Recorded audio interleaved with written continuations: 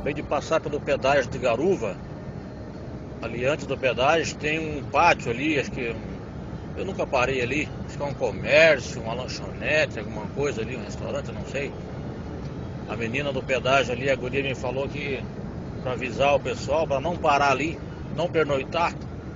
Ontem assaltaram um motorista, bateram nele de martelo. Deu até fundamento de crânio.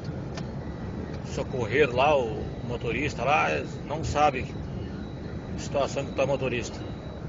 Ela está pedindo.